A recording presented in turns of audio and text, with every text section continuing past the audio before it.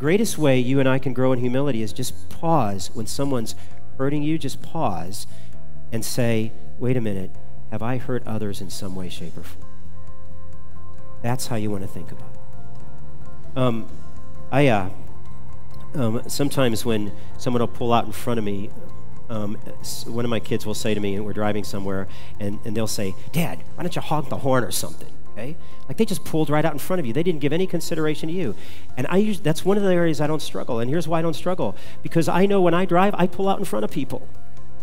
It's that simple. I know that I should be honked at, and I am sometimes. I know that that has happened to me. So to stop and not respond in that way, all I got to do is remember how I drive.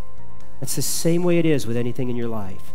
When you are standing in superiority, you just need to stop and remember that God, through Christ, forgave you.